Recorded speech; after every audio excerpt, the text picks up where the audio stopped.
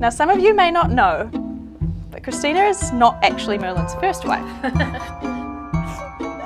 when I was living in California on a temporary work visa, and Merlin was figuring out how he could move to New Zealand, we hatched our own workaround. Merlin, why don't we just get married so I can stay in America and you can move to New Zealand? we were joking, of course, but this started a tradi tradition. While Christina affectionately calls Merlin boyfriend, I call him husband. And while he calls Christina girlfriend, he calls me wife.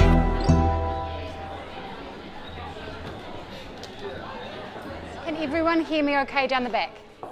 Okay, because now's your chance to move if you can't, because there's no microphone in today's ceremony. Probably so. make an exit.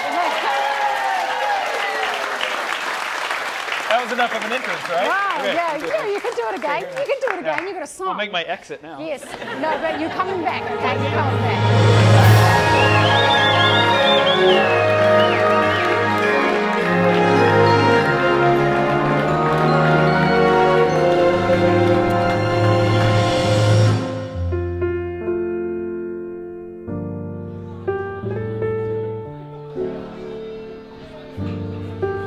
Looks quite different to the one originally planned, to be held at the Thayer residence towards the end of 2020. At the time the plans were, those plans were made, none of us could have imagined the reality that we now face. All of our favourite people still gathered together to celebrate, but worlds apart in various different time zones and levels of lockdown. Auntie Michele, I know this day is extra tough for you. When we all get together, together in person again, it's going to be one hell of a party. and be assured, I'm going to be giving them extra tight squeezes for you today. May your wedding day in your life be full of love, happiness, joy, peace, and of course, adventure.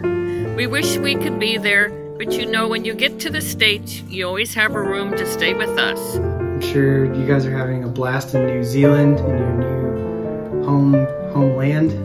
May your stories together have more, you, you know this saying that I love, have more heroes than villains, more adventure than drama, and may love always win.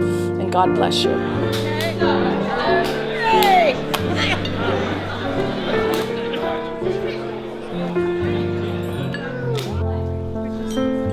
Now, marriage means different things to different people. For Christina and Merlin, it's with no desire to be a Mr. and a Mrs., for they feel most at home being boyfriend and girlfriend, and that does not have to change. But it is the opportunity to share their partnership and love with their friends and family. It's putting on paper a commitment to spending their lives together. They're under no illusions that life will be easy, but having each other, they know they have a best friend whose hand they can hold and squeeze when it gets really, really hard. But of course, marriage is also about love. And it's because Christina and Merlin fell in love that we are here today. You're about to make promises to one another that you intend to keep. And Merlin, you can go first. Oh boy.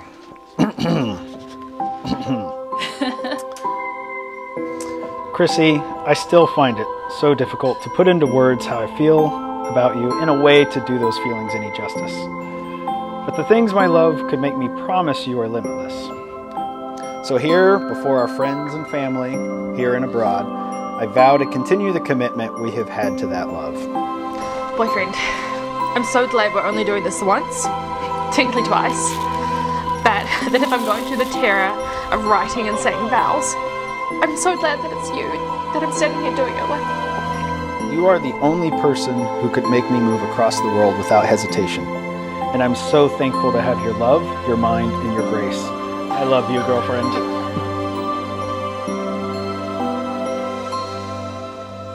Can everyone please be upstanding for the bride?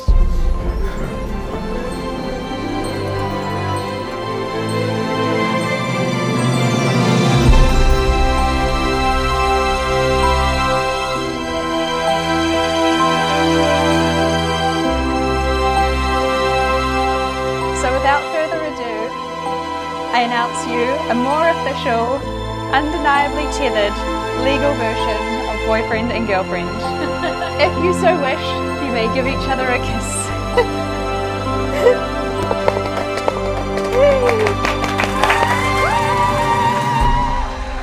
Now the dinosaur and the lovely other dinosaur are old. Look at them.